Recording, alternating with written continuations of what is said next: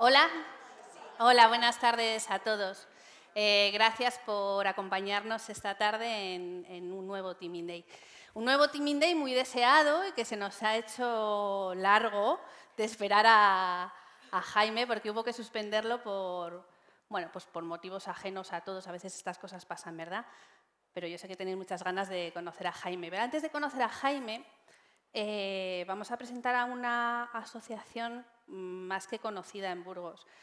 Pero queremos mm, no solo eh, que las conozcáis, que sepáis lo que hacen, sino que valoréis y deis importancia a esto que hacen, porque creo, y vosotros sabéis que no hay nada más importante que la infancia.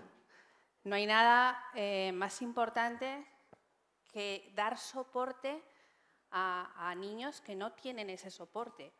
Y esto es lo que hace Nuevo Futuro a nivel, a nivel nacional. Tenemos la suerte de contar con, la presidenta de, Nuevo Futuro, eh, de Nuevo Futuro en Burgos y ella nos va a contar de primera mano eh, lo que hacen, cómo lo hacen y cómo podemos apoyar. Como sociedad tenemos que apoyar a estas asociaciones que son fundamentales para el desarrollo de los niños. Así que, Josefa, cuando quieras, eh, cuéntales, por favor, dónde estáis, qué hacéis y qué necesitáis. Un aplauso.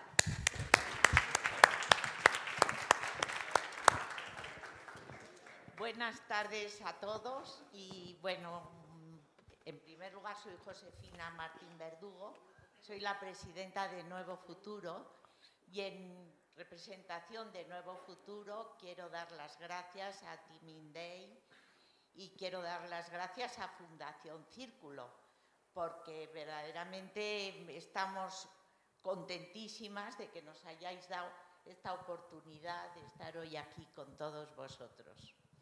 Así que muchas gracias a todos y muchas gracias a todos vosotros por acudir.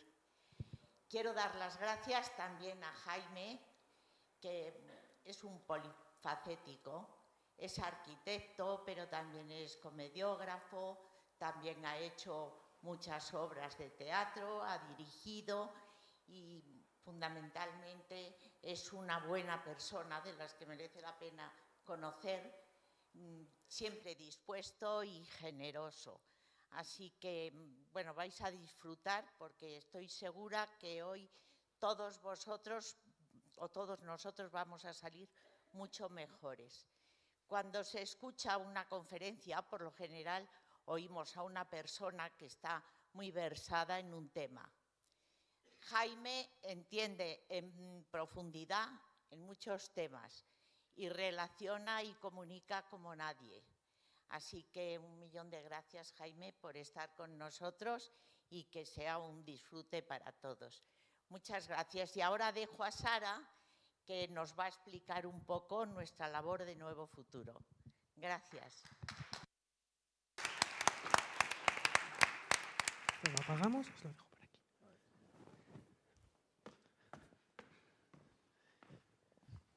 Buenas tardes a todos y a todas.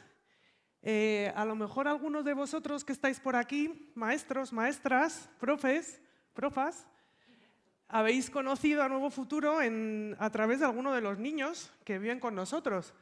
Pero para los que no, voy a intentar eh, explicar en unos minutitos la esencia de lo que, de lo que hacemos en Nuevo Futuro.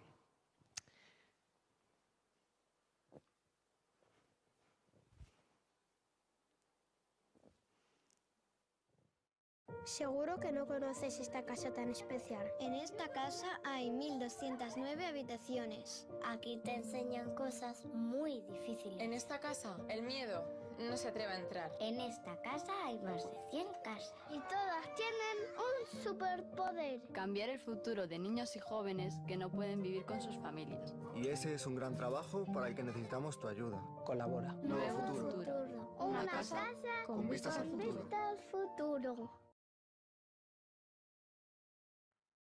Vale, pues este vídeo tan bonito me va a servir para introducir eh, en qué consiste la asociación. El Nuevo Futuro eh, es una asociación eh, a nivel nacional que está acreditada por la, por, la, Fundación Lealtad, que quiere decir que acredita que cumplimos con los principios de transparencia, además, es una entidad declarada de utilidad pública y formamos parte, como Burgos, como delegación, de la Asociación Nuevo Futuro, que está presente en otras 12 delegaciones provinciales. Em, además, eh, forma junto a otras 10 eh, asociaciones la Federación de, Asociaciones de Nuevo Futuro, presente, como veis ahí, en, otros, en, otras partes de España y además en Latinoamérica y África. Fijaros que Nuevo Futuro nació en Madrid eh, allá por el año 68 y surge de la iniciativa de unas personas voluntarias que iban a hacer su labor de voluntariado a los grandes orfanatos de la época y veían las condiciones en las que vivían los niños, eh, entonces eh, decidieron eh, que estos niños necesitaban una atención más individualizada y, que pudieran estar en entornos pues, más pequeños en los que pudieran desarrollarse. Y es así como surgen en Madrid las primeras viviendas, las primeras casas.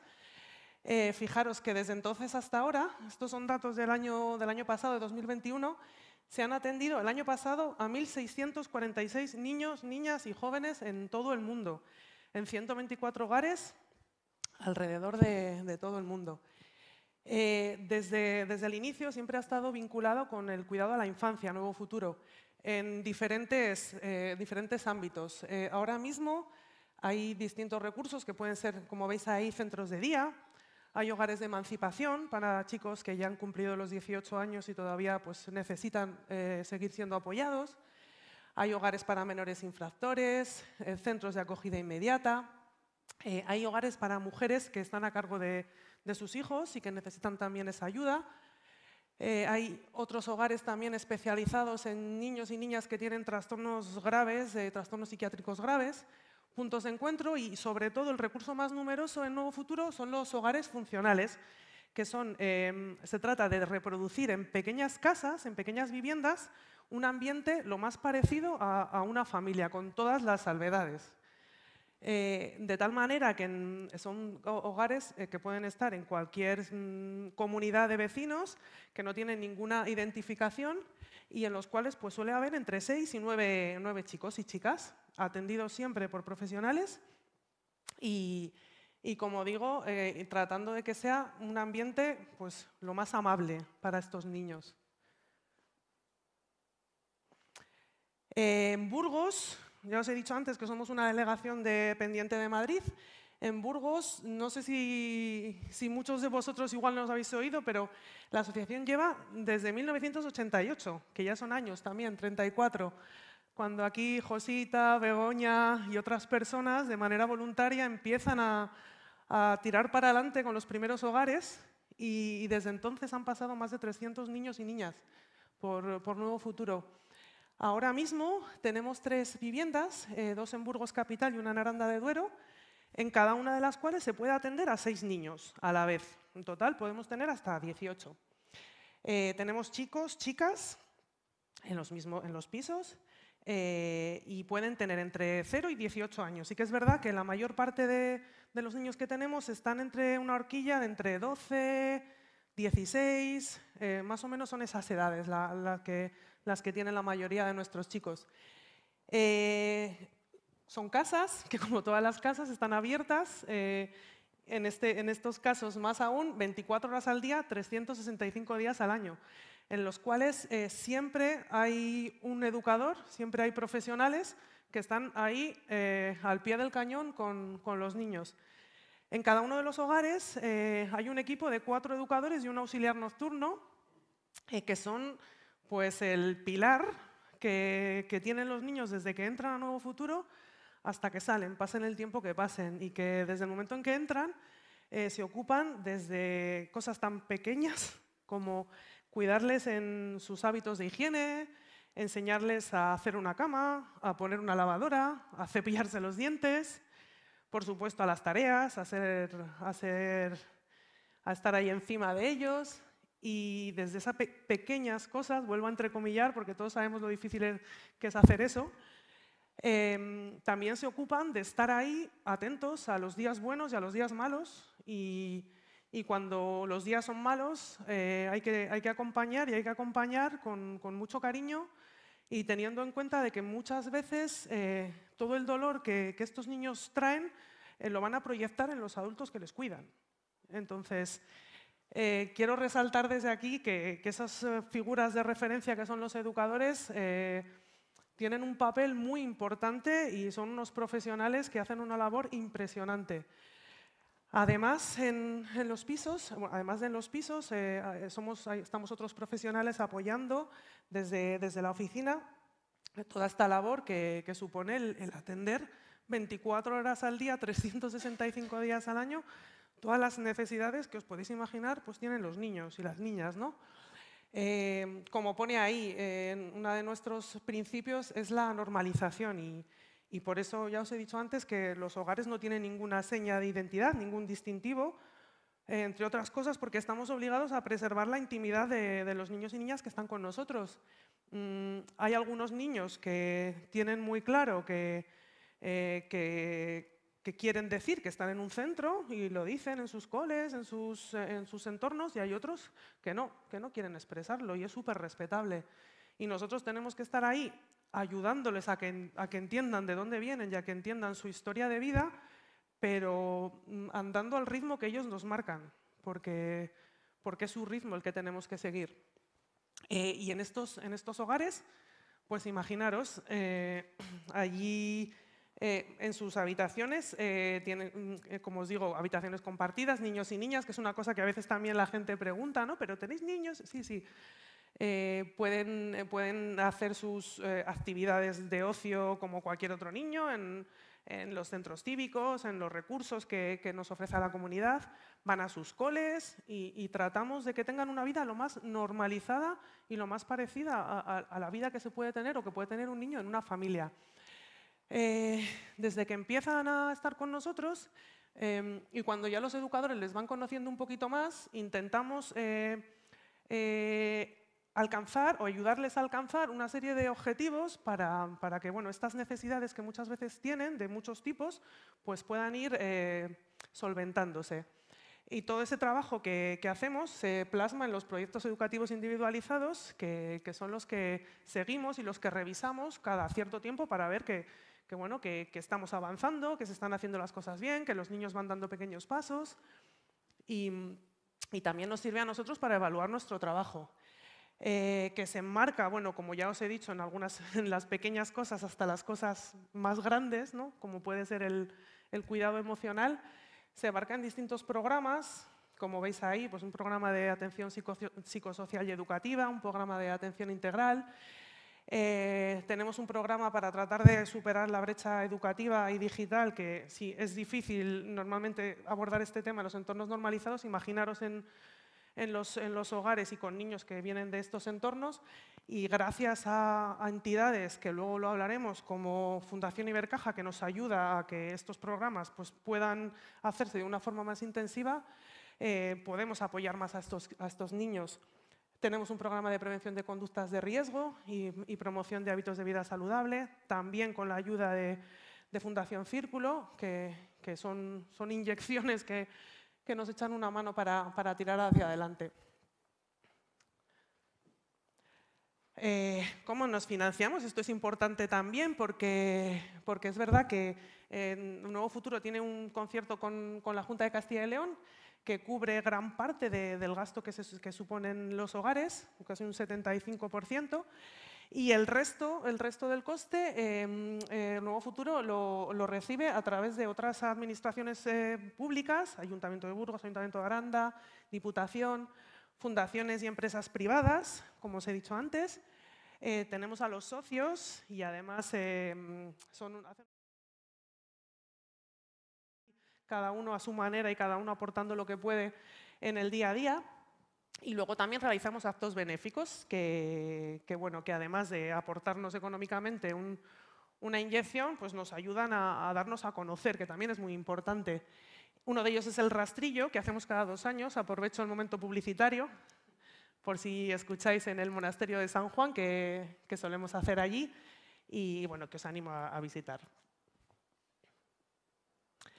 Eh, ¿Cómo llegan? ¿Cómo llegan los niños a Nuevo Futuro? Y ahora voy a tener que ir rápido porque estoy viendo el reloj y, veo, que, veo que no me da.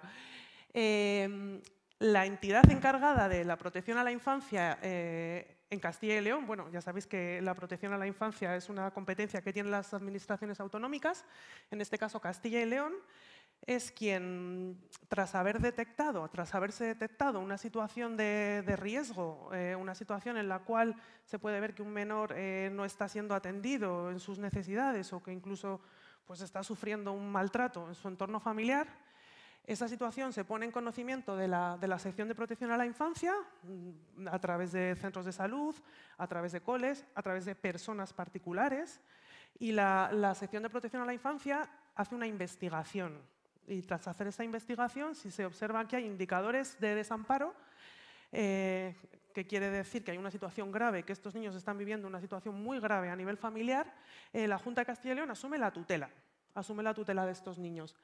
Em, esa tutela se materializa en la guarda. estos niños tienen que ser acompañados y tienen que ser guardados y eh, lo que se trata, lo que, de lo que trata la, la, sección de protección a la infancia es de buscar en la familia extensa pues, eh, algún familiar, algún abuelo, algún tío y apoyarle para que puedan eh, mantenerse en su entorno familiar. Entendemos que los niños donde mejor están es con sus familias eso todos lo tenemos claro.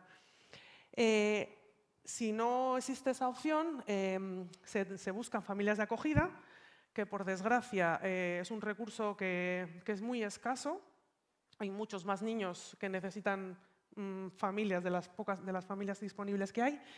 Y es por eso por, los que estamos, eh, por lo que estamos los centros, el acogimiento residencial, eh, para atender a estos niños que no tienen esas opciones. Y aquí sí que quiero detenerme porque es verdad que cuando pensamos en acogimiento residencial, estoy segura de que muchas de las personas que estáis aquí igual os imagináis un internado o, grandes centros eh, de los que salían antes en las pelis, ¿no? Y, lo, que, lo que intentamos hacer en Nuevo Futuro y por lo que se caracteriza Nuevo Futuro es por ser eh, una entidad innovadora en cuanto a que somos los, los primeros que, eh, que crean este modelo de hogar, de pequeño hogar, precisamente para para, como decía al principio de la presentación, para mm, dotar de un entorno mucho más individualizado y normalizado a estos niños. Eh, y es por eso que tenemos estas viviendas hogar, donde, bueno, tratamos de, y vuelvo otra vez a entrecomillar, tener eh, un ambiente o procurar un ambiente lo más parecido a una familia teniendo muy claro, y los niños lo tienen clarísimo, nosotros también, que su familia está ahí, no somos nosotros, nosotros somos educadores, somos psicólogos, somos profesionales, que les echamos una mano, que les vamos a ayudar en todo lo que ellos necesiten, pero sus familias son sus familias y, no tocarlas. Eh, esto que, aparece del plan de caso tiene que ver con, las eh, indicaciones o, el proyecto que tiene desde la sección de protección a la infancia respecto a, cuál es el, plan, el futuro para estos niños. En algunos casos eh, se, va a tratar de, solucionar o de apoyar a las familias para que los niños puedan volver a sus casas en, unas mejores condiciones eh, y se trabaja para una reunificación. En esos casos, eh, los niños, y es verdad que muchos de los niños que tenemos tienen salidas con sus familias, y eso es porque desde la gerencia se prevé que estas salidas pues, se dan en un entorno de seguridad y que, y que son muy positivas para los niños. Y nosotros, como sobre todo los educadores, eh, tienen que tener muy claro y tienen muy claro que, mm, que, aunque haya cosas que a lo mejor en las que no podamos estar de acuerdo o en las que no, veamos que, las familias estén actuando de la mejor forma, que por supuesto hay que comunicarlo a la sección de protección a la infancia, pero nunca enfrentarse a las familias porque para los niños son su todo, ¿no? son, su, son su base. Eh, cuando un niño no puede volver con su familia, pues eh, se buscan otras opciones, que puede ser la separación definitiva o la preparación para una vida independiente. Entonces, eh, ¿cuánto tiempo pueden estar eh, los niños en Nuevo Futuro? Pues bueno, depende de cada plan de caso, depende de cada situación. Y mm, lo que está claro es que todo el tiempo que estén con nosotros vamos a tratar de, darles todo lo que podamos para que se lleven eh, en sus vidas pues, pues ese pequeño regalo que, entendemos que, tenemos la oportunidad y la responsabilidad de darles. ¿Qué pasa después? Y esa es otra pregunta que, soléis hacer. Eh, algunos chicos, como os he dicho, algunos niños y niñas vuelven con sus familias. Eh, otros eh, pueden irse a vivir con algún familiar. Otros, incluso, aunque no haya habido una familia de acogida en un inicio, pueden luego encuentran una familia de acogida. Otros eh, cumplen los 18 años con nosotros y tratamos de ayudarles y prepararles en todo ese proceso para que mm, salgan en las mejores condiciones. El, eh, pueden prorrogar, se puede prorrogar la acción protectora, la gerencia, la, gerencia de servicios sociales puede prorrogar hasta los 21 años eh, la medida para que estos niños en, otros centros, en otro tipo de recursos, pues puedan seguir siendo atendidos. Eh, pueden salir a pisos de emancipación, eh, y en muchos casos también, en los casos en los que los, los, chicos y las chicas tienen más necesidades o necesitan algún apoyo específico por una cuestión de discapacidad y demás, pues también les tratamos de derivar a este tipo de recursos pues para, para personas con, con, discapacidad.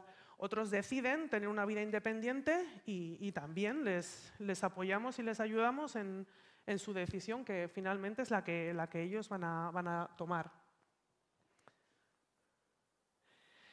Eh, cada niño es distinto y a veces cuesta eh, pensar qué tienen en común nuestros niños, ¿no? Pero lo que sí tienen en común es que todos ellos eh, han sufrido un trauma, al menos un trauma. Eh, y eso quiere decir que han, han, vivido cosas en su corta edad que como adultos muchos de nosotros tendríamos muchas dificultades para, para afrontar. Y esos traumas, em, esas, esas experiencias, dejan heridas que a veces se ven y muchas veces no se ven, son invisibles. Pero esas heridas invisibles hacen que el día a día sea un poquito más difícil que para el resto de, nosotros, ¿no? Eh, porque muchas veces eh, tienen dificultades para, eh, para, controlar sus cambios de humor, hablamos de adolescentes, de niños, tienen dificultades para gestionar su ira, para entender qué les pasa, para saber por qué esto es tristeza, esto es enfado, para ponerle palabras a lo que sienten, ¿no? imaginaros, si tienen dificultades para entenderse, eh, obviamente van a tener dificultades para establecer relaciones con, otras personas. Lo que unido a, esa dificultad que tienen muchas veces para confiar, porque si has aprendido que el otro no es, no es de fiar, pues eh, no es fácil luego poder confiar ¿no? en las otras personas. Entonces, muchas veces eh, vemos esas dificultades para poder establecer vínculos profundos y, trabajamos mucho para, tratar de, de, que eso sea de minimizar ¿no? este, este aspecto. Eh, os podéis imaginar, eh, baja autoestima, eh, si no te han mirado con cariño, es muy difícil que tú puedas mirarte a ti mismo con cariño, si no te han dedicado tiempo, si, si, no te han cuidado como, como, deberían, pues es muy difícil que la visión que tú tengas de ti mismo y del mundo pues, pues se vea afectada. Eh, eh, está probado además científicamente que el, los, los, cuidados o los malos cuidados o los escasos cuidados en los primeros años de vida muchas veces generan, eh, generan déficits neurológicos que, que, que, a veces son muy difíciles de solventar, ¿no? entonces encontramos muchas dificultades de atención, eh, aparte de, bueno, de por, todo, por todo el tema de, memoria, por todo el tema de esta falta de hábitos y profesores que estáis por aquí, por favor, nuestros niños muchas veces no es que no quieran, es que no pueden, no tienen capacidad para, para enfrentarse a los contenidos escolares que, que, les exigimos, ¿no? porque además de estos déficits que en muchos casos se, se dan, Imaginaros, has estado cambiando de, de, centro, de ciudad, en muchos casos eh, te cambian de entorno, ¿Cómo puede afectar esto a, tu capacidad para afrontar o para atender? Eh, y además, eh, aunque muchas veces eh, esas heridas invisibles parece que, hacen que veamos a niños súper maduros y súper... Decimos, joe, qué, tío, ¿no? Pues es verdad que a veces el desarrollo es distinto en las distintas áreas, ¿no? Quiero decir que un niño que físicamente puede tener 18 años, a lo mejor a nivel emocional es un niño, o a lo mejor a nivel sexual tiene un desarrollo precoz que no le corresponde con su edad, eh, con su edad cronológica. Lo que sí que tienen en común nuestros niños es que son superhéroes que, que se enfrentan a pequeños, grandes retos cada día y que necesitan, a esos superhéroes necesitan a superadultos que les acompañemos con, con mucho amor y con mucha seguridad. Y, y me gustaría acabar con esta frase de, Íñigo Martínez, que dice que el cerebro es terriblemente agradecido a cualquier conducta amorosa. Así que, por favor, amemos, miremos con cariño a nuestros niños, porque, porque lo, van a, lo, van a, lo van a agradecer. Y muchas gracias.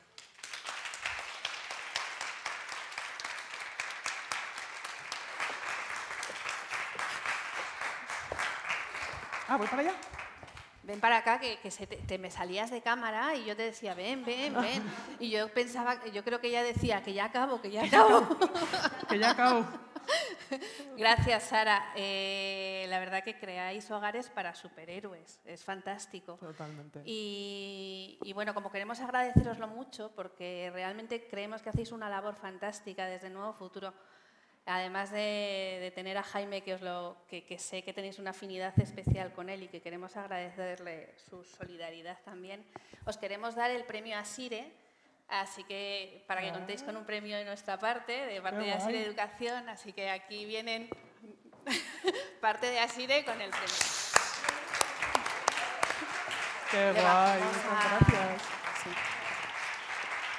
Qué bonito. Muchas gracias. ¿Estas son para Gracias a los niños? vosotros. Buah, qué bien. Gracias a vosotros. Y os damos las camisetas de Teaming Day para que se las deis a vuestros chicos. Perfecto. Así que no se la damos a todo el mundo, ¿eh? es una cosa. Somos unos Te las tenemos muy contadas. Muchas gracias, Muchas Sara. gracias. Gracias. Bueno, pues eh, vamos a, a conocer a Jaime, a Jaime Buigas, que eh, la verdad que cuando nos propusieron que viniese Jaime con Nuevo Futuro, porque fue una propuesta de Nuevo Futuro, eh, decíamos, eh, nos encajaba Jaime en el papel de creativo, de charla creativa, incluso filosófica también, que es un tema que yo sé que le encanta. eh, como dramaturgo también, hacer algo de teatro con los adolescentes, porque cuando yo conocí a Jaime, él hacía teatro con su grupo de alumnos, eh, que eran fantásticos y que ellos decían que el teatro de Jaime hacía que sus adolescencias fueran felices, que fue una frase que dijeron a, mis alumnos en aquel momento que colaboraban en el Aprendemos, que, que hacía que las adolescencias fuesen felices. Fijaros qué frase tan bonita. Así que eh, yo creo que Jaime tiene una especial afinidad con Nuevo Futuro y también con, los chicos, ¿no? con los adolescentes, que es esa edad en la que trabajan ellos de 12 a 16 también. Así que yo creo que va a ser una charla fantástica y sin más, pues os dejo con Jaime Huigas. Gracias, Jaime. Muchas gracias. He de decir que yo estoy, eh, desde que he entrado en la sala, absolutamente tentado en probar este mueble. Eh, y no solo tentado, tengo varias buenas noticias hoy. La primera buena noticia es que yo no traigo ninguna presentación de PowerPoint. Eh, no, tengo nada en contra de ellas, pero es verdad que intento entablar, en la medida de lo posible, una cierta cruzada personal, absolutamente estéril, ya lo aviso, pero una cruzada personal eh, no en contra, sino a favor de dos cosas. Una, la palabra en detrimento de la imagen. Creo que tenemos todos una responsabilidad importante de recuperar el valor de la palabra. Eh, y es verdad que la palabra por imágenes pues es útil, etcétera, pero bueno, es un pequeño reto, casi pedagógico, que creo que todos los que nos dedicamos a la docencia eh, necesitamos poner en valor. Esa es una. Y dos, he de decirlo, esto es políticamente incorrecto. Em, rescatar también, como cruzada, em, el beneficio indiscutible de la presencia. De la presencia en el espacio y en el tiempo. Quiero decir, muchas gracias a los que habéis venido y a los que estáis aquí. Muchas gracias a los que están allí. Eh, por pura necesidad se ha establecido esta cosa de la telecomunicación, que es, maravillosa y es estupenda y ha servido de- nos ha sacado de muchos apuros. Ahora bien, es insustituible la presencia humana. Somos seres humanos, estamos sujetos, bendito sea Dios, al espacio y al tiempo. La presencia es valiosísima y a los que nos dedicamos a la docencia hemos aprendido sobre todo que no hay nada como tener a los alumnos, a los oyentes, a los asistentes, mirarles a la cara porque lo que ocurre ocurre aquí y lo que ocurre en una pantalla no está ocurriendo. Es una pequeña entelequia, con perdón a los del más allá. Eh, dicho esto, voy a emprender y voy a empezar por justificar un poquito eh, esto, ah, llamarlo ponencia, entenderéis que se me hace excesivo. ¿no? Eh, y antes que hablar de ponencias, lógicamente hay que dar muchísimo las gracias. Eh, dice el Evangelio, que es un libro muy recomendable para creyentes y no creyentes, dice eso de que por sus frutos los conoceréis. ¿no? Eh, me encanta haber escuchado eh, los, los minutos anteriores porque ya está, esa es la carta de presentación. Eh, ¿Quién soy? Esto que hago. De una honestidad rotunda y absoluta. Y por lo tanto, eh, produce un cierto, ya no un- una sensación de estar muy honrado de participar en esto. Produce casi estupor y vértigo pensar que se tiene algo que decir cuando la persona que te precede no dice cosas, sino que muestra lo que hace y lo que hacéis. Entonces, todo el reconocimiento es, el honor es mío de largo por esa labor encomiable y maravillosa hecha con tanto cariño y con un equipo, es decir, tan divertido como el que me ha estado acompañando hoy eh, en la comida. Entonces, muchísimas gracias. Muchísimas gracias al Day, muchísimas gracias a Sonia por la paciencia, por la atención, por el buen gusto. Gracias a la Fundación, gracias a todos los implicados que hacen que esto pueda ocurrir, porque estas cosas nunca son tan sencillas, casi nada es tan sencillo como parece, casi nada. Y que esto ocurra es la suma de una enorme suma de voluntades de personas de bien eh, eh, que creen que el mundo puede ser mejor. Eh, y creo que, nos tenemos que coligar todos los que tenemos esa elemental creencia. Vamos a ver. Infeliz a su manera. Yo lo tenía claro, lo tenía claro. Infeliz a su manera es una expresión que a mí me tranquiliza. ¿Por qué me tranquiliza? Vamos a ver, esto está, ya sabéis, es la primera frase de una novela absolutamente genial y larguísima, que es Ana Karenina. Ana Karenina cuenta, entre otras muchas cosas, los desastres de una familia eh, extensa y sufriente. La primera frase de la novela de Tolstoy, Ana Karenina, dice, las familias felices se parecen. Sin embargo, las familias infelices lo son todas a su manera. Me encanta. Infeliz a su manera. Yo no sé qué me ha producido desde hace muchísimos años que leí yo la novela, qué, qué grado de, de- de certeza. Veis que hay veces que la verdad de las cosas se esconde. Tú sabes que hay una verdad detrás de algo, pero tardas en encontrarla. Pero huele a verdad. Esto es muy interesante, te pasa con libros, con películas. Tú no lo has entendido, pero dices, uy, uy, uy, uy, uy, aquí hay algo. Lo voy, a, lo voy a llevar conmigo, porque en algún momento eso se va a desvelar. Bueno, pues para mí esto es una de estas frases. Yo nunca la he entendido, no sé si la entiendo todavía, pero sé que hay una verdad ahí. Y sobre todo una verdad que se asocia con lo que me produce. Y lo que me produce esa frase de infeliz a su manera es una tranquilidad de que se puede ser un poco infeliz, de que todos somos un poco infelices, de que las familias son infelices porque son como pueden y no pasa nada. Vamos a ver, ¿a dónde quiero llegar con esto? Infeliz a su manera. Mirad, lo lo voy a representar de una manera muy fácil. Si hay algo que yo detesto en esta vida, y perdón que hable demasiado de mí, lo detesto, ¿eh? y os invito a que lo detestéis conmigo. Es la publicidad en general. La publicidad ¿no? es un artefacto diseñado para generar necesidades innecesarias. Bueno, la publicidad, ¿no? No me hace falta, pero me creo que sí. Y de todas las publicidades, que, que la que más detesto, no sé por qué, ¿eh? me pasa también de siempre, es una pequeña fobia, son las publicidades de cereales. De cereales, de cereales de por la mañana, del cornflakes, cornflakes. Voy a intentar utilizar palabras inglesas que también me dan, me pereza. Eh, cornflakes, bueno, ¿sabéis por qué? Ahora visualizad, no hace falta un PowerPoint. Visualiz PowerPoint, poder punto, no PowerPoint. Visualizad típico anuncio de cereales. ¿Cómo son? ¿Os imagináis, no? La familia feliz. Eh, frecuentemente rubios. ¿Será que ser rubio te hace más feliz? Guapos, a ser posible guapos.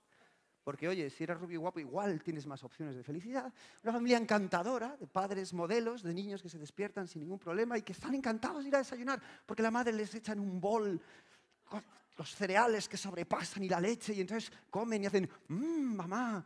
Y entonces el padre es comprensivo y les hace así en la cabeza, porque van a empezar un día maravilloso, porque les esperan unos trabajos brillantes, porque encima son, son listos. Son listos y sensibles y escuchan a sus hijos. Y es ese mundo ideal de los anuncios de cereales. Y tienen el, de la desfachatez de ponernos esos anuncios. Que eh, yo lo veo y digo, pero es- esos, ¿qui- ¿quiénes son esa familia? ¿Dónde están? Me produce esto. ¿Dónde están? Es que yo no los he visto. Porque con todos los respetos, si veo ese anuncio, yo no tengo televisión, pero si, si viera ese anuncio desayunando con mi familia y mirara un poco hacia mi familia, diría, uff, tengo un problema. Algo no casa. Casi peor. Perdonad el tono, esto en verdad es muy serio, ¿eh? Me- que tengamos una- Casi peor, o emparentados con los anuncios de cereales, altamente peligrosos, había que prohibirlos todos, están los anuncios de yogures. No me preguntéis por qué el yogur del yogur. Y de repente los- la gente, los anuncios de yogures, que también suelen ser familias felices, o gente feliz, o gente guapa y estupenda, comen yogures. Para hacer, tienen unos cuerpos, ¿no? Para comer un yogur. Y tienen unos cuerpos porque ¿sabes? son modelos y van maquillados y comen el yogur. Y cuando comen el yogur, de repente sienten como una dicha y una realización. Y dices, y luego tú te comes el yogur y, y no te pasa eso. No te pasa eso. Eh, Pero de repente quieren que. eh, eh, hay un problema. Y entonces esta sensación de, oye, pero ¿esto, qué, esto, ¿esto cómo va? ¿No? La publicidad tiene unos arquetipos de felicidad y aparece una especie de arquetipo de familia feliz, que es absolutamente peligroso, decir, familia feliz. Entonces esto yo lo uno con lo de Ana Karenina. Digo, hombre, feliz, feliz. Las familias felices se parecen todas. Y claro, cuando veo los anuncios de cereales dices, sí, porque cualquier cereal es la misma familia. Un poco más rubios, más morenos, no sé qué, pero todos, mm, ah, y sonríen, y son estupendos. Y además, mm, em, con todas estas cosas de que parece que- que lo que hay que ser. Y te das cuenta que la realidad es claramente diferente. Dices, oye, pero esto de la felicidad y de la familia feliz, ¿con qué parece que hay que asociarlo? ¿No? La familia feliz. Y la pregunta es, ¿pero hay una sola familia feliz? Y, yo no tengo la respuesta. Tolstoy, que es bastante más listo que yo, dice, no, claro. No, claro. Digo esto, y me gustaría ser muy contundente en esto, porque mucho cuidado con acercarse a los problemas ajenos desde el trono de la felicidad. Hay familias desgraciadas que fíjate, pobrecitas lo que les pasan. Y pobrecitos sus hijos, porque como son desgraciados, ya vamos nosotros a ayudarles. Cuidado. Quien esté libre de pecado, que tire la primera piedra. Lo que se matan por hacer estas personas no es una cosa que les pasan a unos pobrecillos desgraciados. De algún modo, y salvando las distancias, e intervienen cuando ya no hay más remedio y en un caso extremo, nos está pasando a todos en mayor o en menor medida. Porque la familia, que es crucial para la educación, y de eso va esta charla, la familia puede ser un foco de mucha felicidad y puede ser un foco de mucha desgracia, y lo suele ser a la vez, a la vez, y necesariamente. Y en esa complejidad está gran parte de la misión que tenemos como personas, que es aprender a relacionarnos con nuestra familia, con las consecuencias positivas y negativas que toda familia acarrea. Y voy a repetir, toda familia acarrea. Y lo voy a demostrar, incluso en un alarde pedagógico. Y voy a utilizar a la literatura y a la mitología como aliados. Con lo cual, esta idea de que la felicidad es la tranquilidad, la estabilidad, la seguridad, la protección, el afecto, tendríamos que negociar sobre qué es eso de la felicidad y si la felicidad es un... eh, eh, eh, es, es una realidad, o yo tengo un querido amigo que dice, la felicidad, felicidad es a ratos. Todo el rato no, es a ratos. Somos candidatos a tener ratos felices. Pero ¿en qué consiste exactamente esa felicidad? ¿Consiste solo en estas situaciones? ¿Tiene algo que ver con ese paradigma que se nos vende para acomplejarnos pensando que nuestra familia es defectuosa y que nos hace sufrir y que nos hace reír y que a veces tenemos alegrías y otras muchas cosas? Seamos honestos. Vamos a mirar a la familia de frente para darnos cuenta de que todas las familias son infelices a su manera. Y no pasa nada. Esta es la segunda buena noticia. La primera, la del PowerPoint. Y la segunda, somos todos miembros de familias infelices a nuestra manera. Y bendito sea Dios. Ahí está la cosa, está bien. No aplaudáis. Perdonad, perdonad esos arrebatos. Mirad, yo tenía una abuela que murió hace unos años, mi abuela Encarnita, que era asturiana, una señora maravillosa. Eh, maravillosa y tremendamente complicada. No la voy ahora a hacer romántico, estoy hablando de la familia como estoy hablando. Con sus luces, con sus sombras, con sus... tal. Veo la encarnita me dejó una lección tremendamente aprendida, eh, que es una lección sobre la mediocridad. Eh, parece que hay que ser excelente. Excelente, ¿no? Tú, chico, lo mejor. voy a comprarme. Esto es maravilloso, esto es brutal. Y, conviene en algún momento de la vida amigarse con esa idea de, pues chico, el verso de Machado, ¿no? La, encina brota derecha o torcida con esa humildad que cede solo a la ley de la vida, que es vivir como se puede. Antonio Machado. La mediocridad. Y mi abuela Encarnita nos decía a mí y a mis hermanos, mira hijo, en el fondo todo el mundo, todas las personas del mundo son mediocres, menos dos. Nosotros como muy extrañados. Dice, sí, menos dos, hijo. El mejor y el peor. Los demás son todos mediocres. Esto es muy tranquilizador. Y, cuando me decía eso, me pasaba lo mismo que con lo de Ana Karenina. Decir, ay, mi familia es infeliz a su manera y somos todos mediocres. ¡Qué bien! ¡Qué bien! Ahí se manejan las cosas. Voy a apagar la televisión. Me están mintiendo. Me están diciendo algo que es completamente falso. La educación, y se habla mucho de educación, y a mí lo, único que me legitima para hablar de educación, los, datos, mi currículum es fácil, llevo 25 años aproximadamente relacionado con todos los niveles de la educación, infantil, universidad, primaria, tal, soy hijo, sobrino y hermano de profesores. O sea, quiere decir que lo de la educación no es un oficio, es una cultura en mi entorno familiar. Eh, eh, y, hay algo que suscribo totalmente eh, y que muchos otros suscribirán.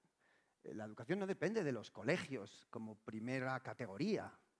La educación es una cosa de la casa y de la familia, en primer lugar. No, el colegio puede hacer cosas, sí. Matiza, aporta, instruye, dirige, sí. ¿Hace falta que el colegio cumpla con su misión? Sí. Pero esto de que cuando se hable de educación se hable sobre todo de colegios, no, perdón. Si estamos hablando de educación, primero primero, por encima de absolutamente todo, lo que educa es tu casa y tu familia. Fin del asunto. Y creo que eso es indiscutible. Que, los padres muchas veces no sean muy conscientes de este dato genera grandes conflictos en los profesores, en los colegios, en las aulas. Es lo primero. Y es vital. Y en la educación que las familias y que los padres dan a sus hijos, evidentemente hay cosas que se eligen y otras que no. Se elige desde la conciencia de que se quiere lo mejor.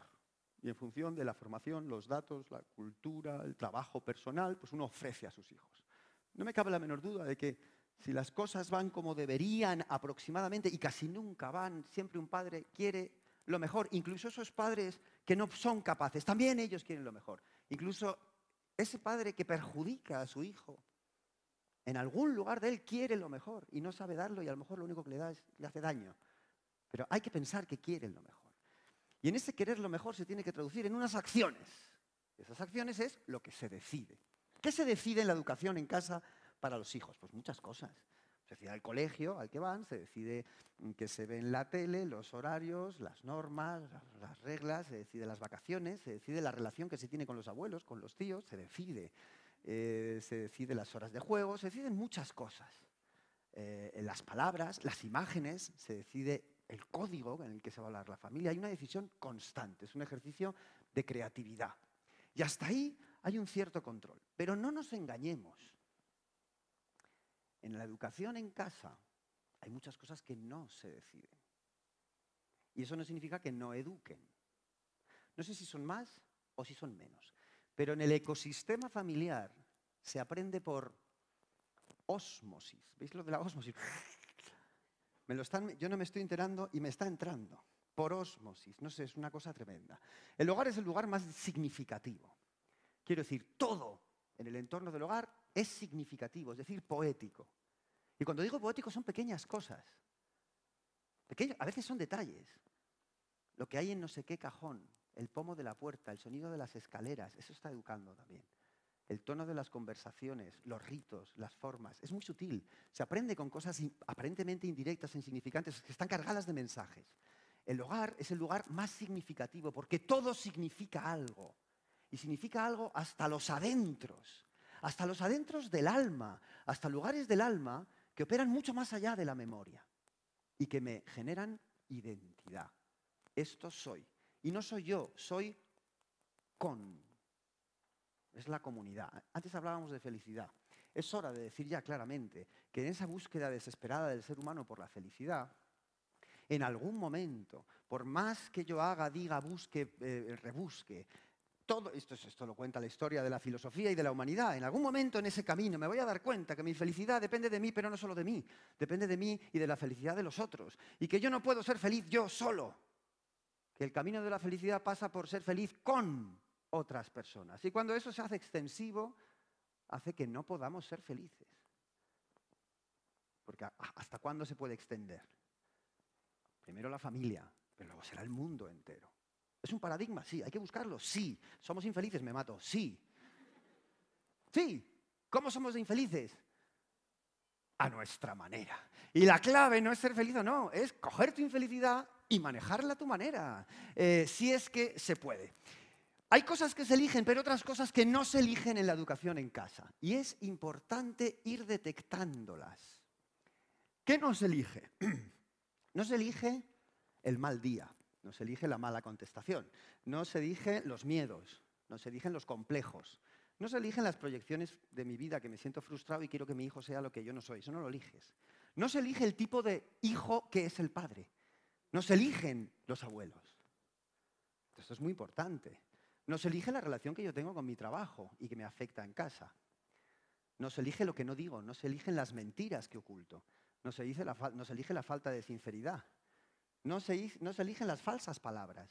No se eligen. ¿Forman parte de la vida? Sí. ¿De las de quién? De las de todos. ¿De las de todas las familias? Sí.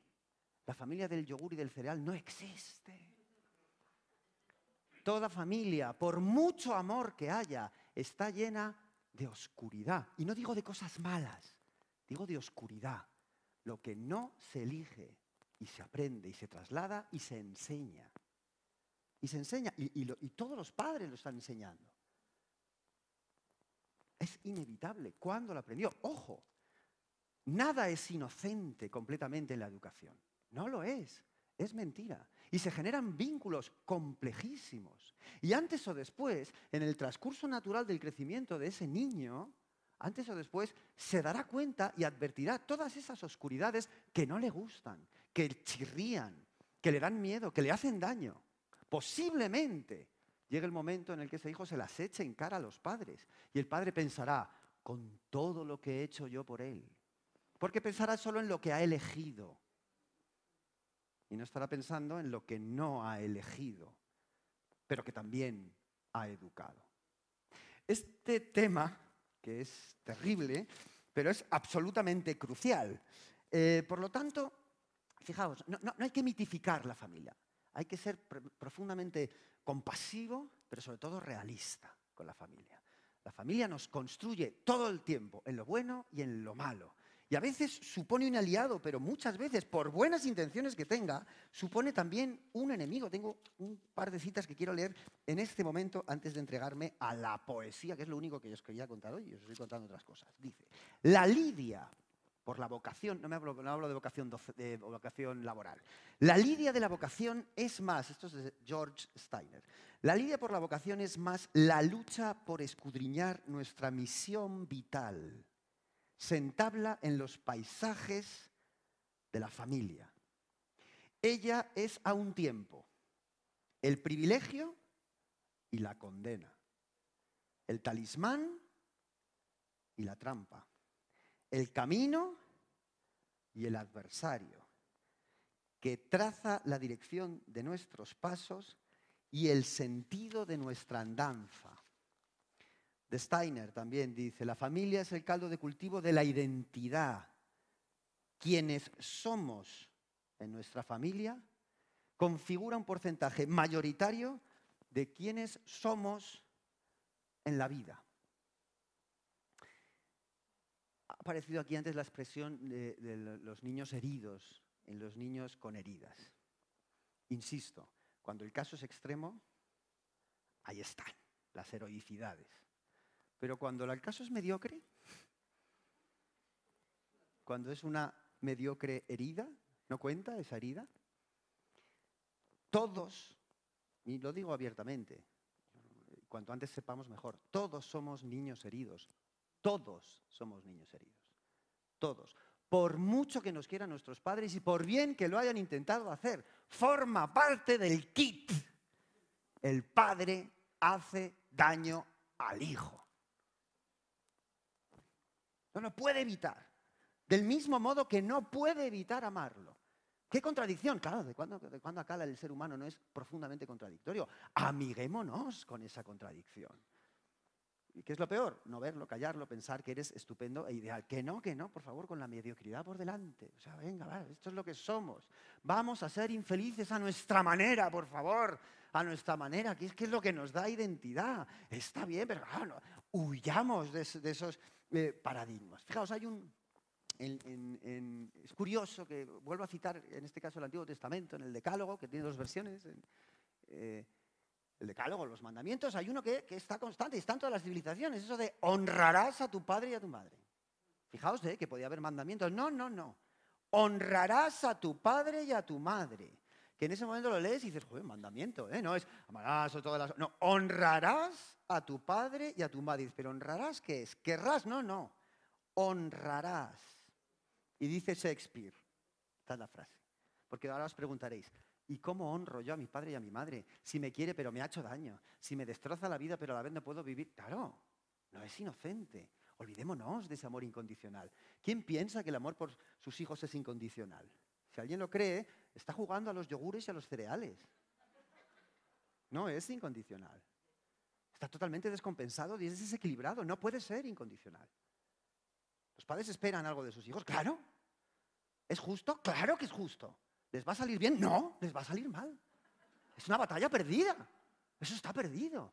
Pero ¿cómo, cómo un hijo puede devolver a los padres lo que han hecho por él? Si ha estado la madre nueve meses, si lo ha parido, si ha dejado de dormir para el resto de su vida, porque lo tenía que cuidar. Todos estaban centrados en ese personajillo, en ese proyecto de humano. Todo se le ha dado, se le perdona todo, se le hace, se le dice. ¿Y eso es gratis? No, que somos mediocres.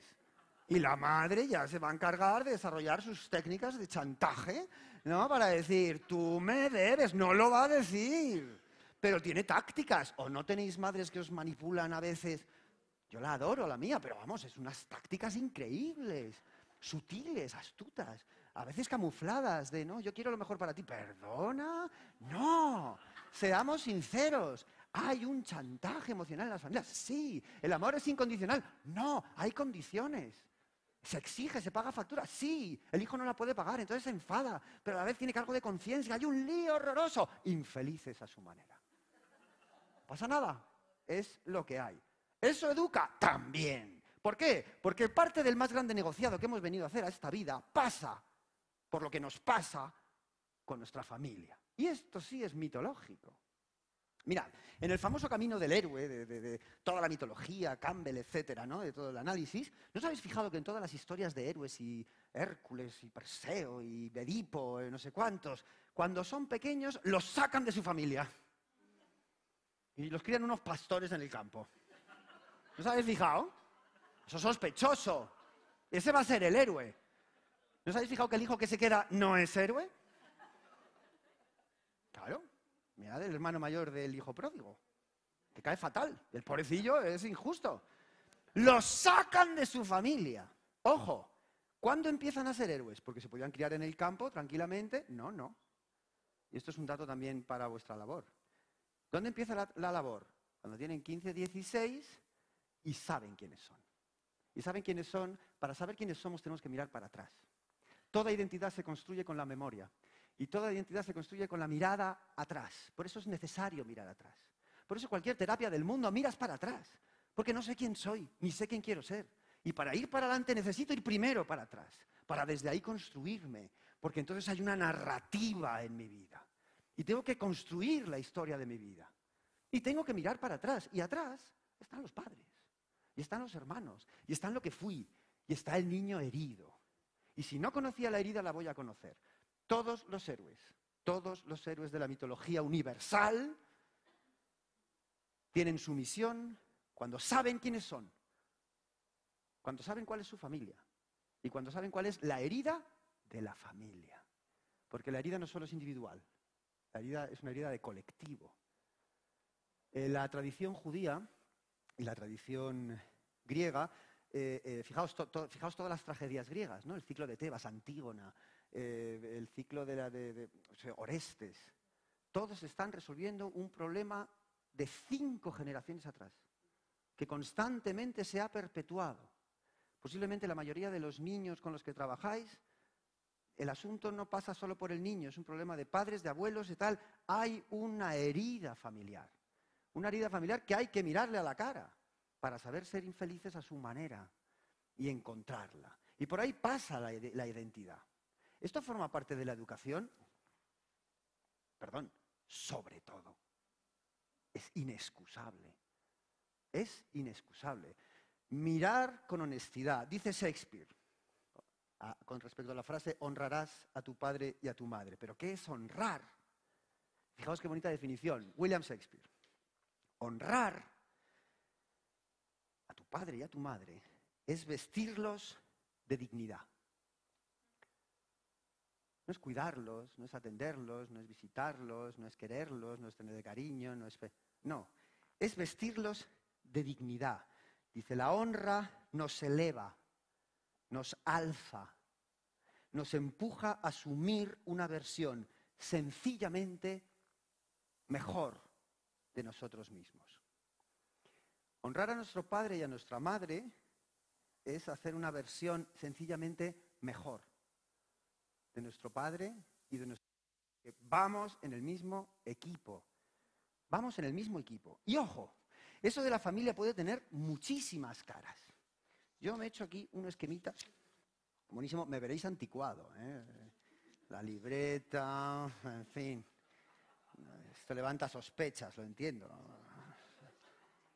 Este señor es impresentable, ¿eh? una libreta que parece la Biblia, además no es una Biblia, es una libreta. ¿Y quién es esa comunidad que nos determina y nos educa? Pues eso es que se llama familia. Vamos a hacer un catálogo de familias. Familia number one, que es la familia genética. Es hijo de quien seas. Ojo, no es baladí. Excuso decir en la literatura y en la historia. Eres hijo de quien eres. El tema de los, los niños adoptados, etcétera. No, no, borrón y cuenta nueva no existe. Aquí hay un material genético, se heredan muchas más cosas de lo que la ciencia sabe. Ya sabéis que la ciencia describe pero no explica, describe. Pero explicar, explicar no explica. Entonces esto que sin haber conocido a los padres pasen cosas que las tienes es que lo llevamos en algún lugar. Y eres hijo de quien eres hijo. Y en la mochila van muchas cosas por el hecho de haber nacido de esa sangre. Y parte de tu misión en la vida pasa por reconocerlo, mirarlo de frente y honrarlo. Como buenamente puedas. Infeliz a tu manera. La familia genética, uno. Tipo dos, lo he llamado la familia en prácticas, que es la familia que ejerce. Suele ser la genética, pero no siempre, la que ejerce. Es decir, la que te está enseñando en el ecosistema por osmosis lo que deciden y lo que no deciden las luces y las sombras, con toda la enorme dosis de ingratitud filial a la que está sujeta cualquier educación de un hijo. Y si no, leed la obra de Shakespeare, El Rey Lear, que va de eso. Bueno, la historia del teatro, a los que nos dedicamos al teatro, no hacemos otra cosa más que investigar familias. Eso es el teatro. Son historias de familias, siempre. posiblemente no seamos otra cosa. En práctica es la que ejerce, la que hace lo que puede con las mejores intenciones, con los mejores medios, con dinero, sin dinero, con actitud, haces lo que puedes. Bien, a veces coincide, en este caso, aquí tenemos un equipo de gente que intenta generar familias en prácticas, aunque sea como buenamente sea. Luego está otra que me gusta mucho, que es la familia al rescate. La familia al rescate es esa familia cuando ya odias a la tuya, la que te buscas un poquito alternativa. A veces son los, padres de un amigo o alguien, o los primos cuando te vas de vacaciones, es al rescate. Es decir, es mejor que la mía. ¿Sabes? Quiero estar más. Qué suerte tienen mis primos. Luego, si fueran los primos, claro. Pero, ¿ves? ¿no? Hay familias al rescate, que de repente son como modelos de por dónde serían y que te hacen odiar más a la tuya o, todo lo contrario. Andando la vida está una familia muy importante, que es la familia que elijo. La familia que elijo es vital. Ahí están los, los, no, los hermanos no de sangre, pero que son hermanos. Hoy he sido consciente de, una gran hermandad. Eso es una familia. Vosotras sois una familia. Y eso es una familia que elijo. Que elijo por lo que hago, por los frutos. Es una familia en general, hay que decir, vinculada a una actividad y a una causa. Muy importante. Causas comunes, por favor, comunes. Y cuando es común, ya hay comunidad y la familia al fin es una comunidad. Biológica en práctica hasta el rescate, la que elijo, y luego está la imposible, que es la de los yogures, que ya no le voy a hacer ni caso, ¿no? Que ya no le voy a hacer ni caso. La imposible, que también tienes que saber cuál es. Tenerla claro, decir, o sea, que bueno, algún beneficio tendrá ver lo de los yogures. Eh, mirad, eh, lo más bonito que quería contaros hoy, lo más bonito, me voy a poner serio porque esto es sagrado para mí. El, que a mí me, resulta el mejor poeta de la lengua castellana se llama José Hierro. A los que le hemos conocido en persona, don Pepe Hierro, que era un señor maravilloso. Em, como las verdades más interesantes son esas que no se entienden del todo, cuando te explican algo y hay algo grosero. Es, es muy interesante dejar, cuando se da clase sobre todo, dejar las cosas en un sitio en el que, ¿pero lo ha dicho o me lo figuro yo? ¿Sabéis lo que...? eh? Porque ya no es que yo voy de... li- No, yo... Ah, tú sabrás. Porque solo faltaba que los que estamos aquí encima hablando nos responsabilicemos de todo lo que decimos. No. Hay cosas que nos trascienden. ¿No? Y de las cosas que he dicho, posiblemente muchos pensáis, vaya sarta de tonterías. Y es legítimo, sí. Depende de quién lo escuche, he dicho un montón de tonterías. A no ser que se utilice el lenguaje en su mejor versión, que es siempre la poética, en la que la comunicación está en el límite de la acción entre el que escucha y el que oye. El que oye poesía crea el lenguaje, con lo cual no es alguien que yo te, explico. No hace referencia, y esta es la tercera cosa que hay que salvar, la presencia, la palabra y dentro de la palabra la poesía, por favor, la poesía. Pepe Hierro tiene una eh, poesía desconcertante. Al pequeño y somero análisis de texto le voy a dedicar el- el poco tiempo que me queda. Es una madre que habla a sus hijos. Voy a ir deteniéndome para comentarlo. Dice. Me, impone, ¿eh? me da, solo esto, yo es que en ciertas cosas soy muy sensible, me da ganas de llorar ahora mismo solo de leerlo, porque es que yo escuché a Pepe Hierro leer esto en, persona y era una experiencia maravillosa. Os enseñé muy pocas cosas. Se hacen proyectos, se imagina, se sueña. La realidad es diferente. Pocas cosas os enseñé. A adorar el mar, a sentir la alegría de ver vivir un animal minúsculo, a interpretar las palabras del viento, a conocer los árboles, no por sus frutos, sino por sus hojas y por su rumor, a respetar a los que dejan su soledad en unos versos, unos colores o unas notas, o a tantas otras formas de locura admirable, a los que se equivocan con el alma. Me emociona leerlo. Os enseñé, fijaos, ¿eh? os enseñé a amar a los que se equivocan con el alma. Paro, comentario. ¡Qué madre! ¿No? Estamos de acuerdo, ¿no? Vale, si no estáis de acuerdo, no digáis nada. ¡Qué madre! Os ense- Fijaos, ¿eh? Apreciar no sé qué, a los que dejas en soledad, a, conocer a los árboles. Es la madre que está hablando de lo que les enseñó a sus hijos. Dice la madre, os enseñé también a odiar, a la crueldad, a la avaricia, a lo que es falso y feo. Dos puntos. A las flores de plástico. Es bueno. Los del anuncio de cereales no enseñan a odiar, porque esto es estupenda en su vida. Hay que enseñar a odiar, claro que sí. Claro. Y hay que enseñar a ser violento con lo que hay que ser violento, claro que sí. Hablemos claro, hablemos claro. Os enseñé a odiar la crueldad, la avaricia, lo que es falso y feo, a las flores de plástico. Hijos míos, esto es horrible. No pongáis flores de plástico. Bien, atentos. Febrero, hay una gran sorpresa aquí. Febrero llueve sobre el cementerio. Es una tarde de domingo. Gris es todo. Hemos venido a enterrar a una criatura tierna y absurda.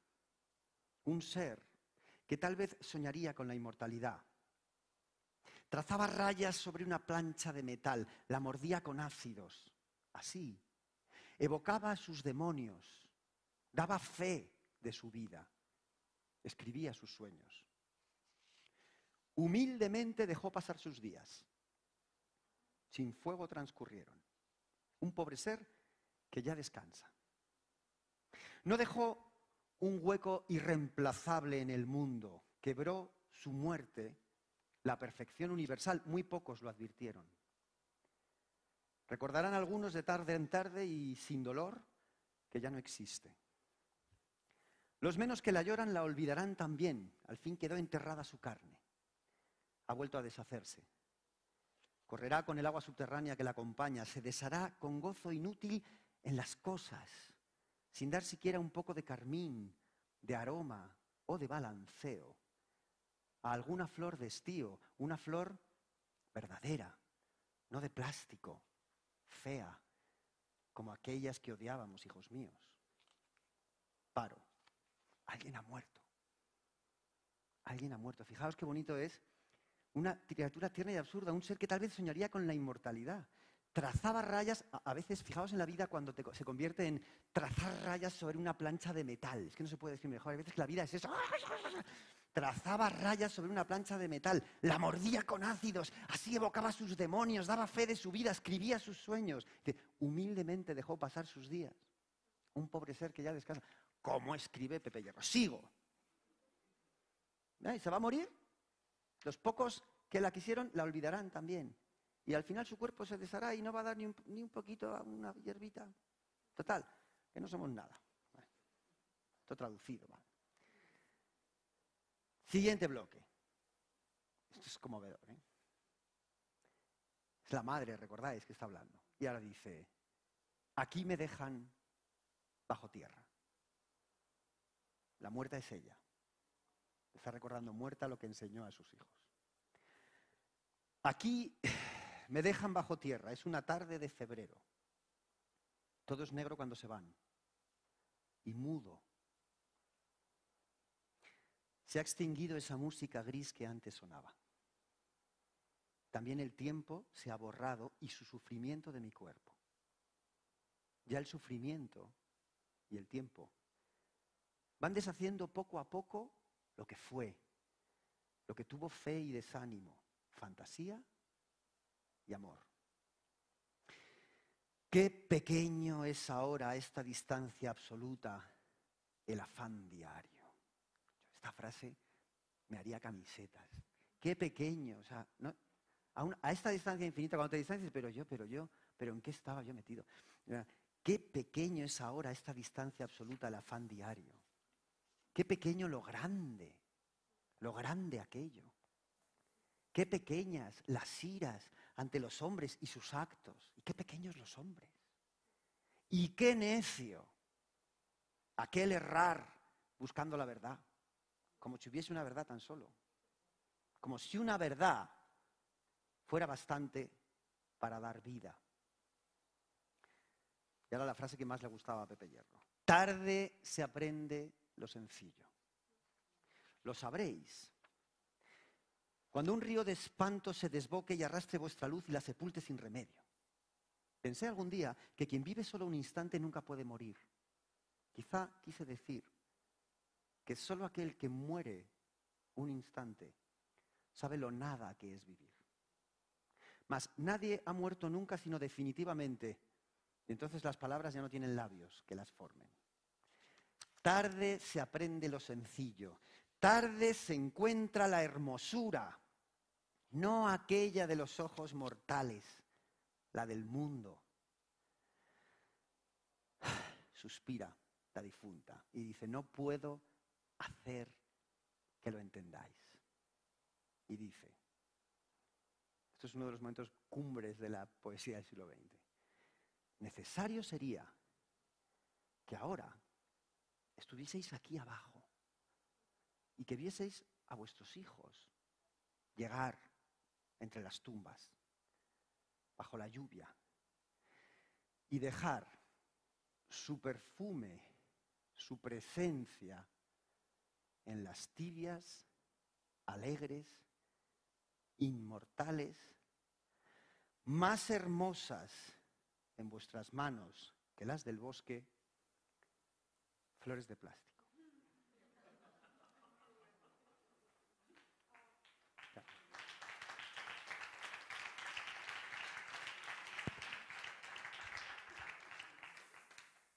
Eh, deberes de profesor. Volver a leerla, a leerla. Es una madre que se ha devanado por educar a sus hijos en lo mejor, en darles todo, en quererles. Hijo, esto está bien, hijo, esto está mal. Y tenía que hacerlo. ¿Lo ha hecho bien o lo ha hecho mal?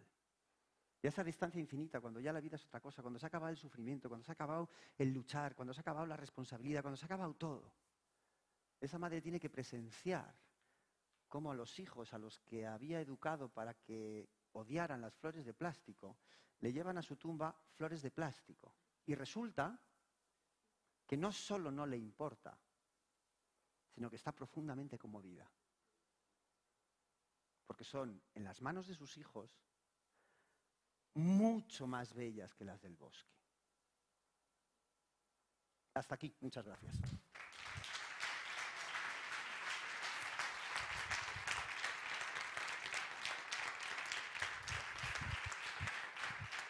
No te me vayas, Jaime.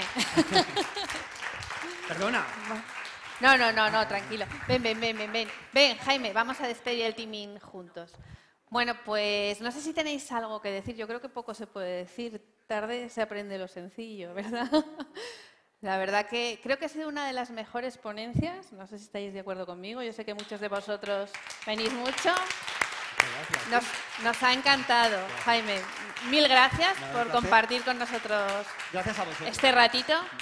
Y bueno, pues muchas gracias a todos. Os recuerdo que el próximo teaming será el 12 de mayo y que en ese ya tendremos eh, pinchito y un vinito. Así que os espero a todos el 12 de mayo con, con otras ponencias. ¿Vale? Muchas gracias. Gracias.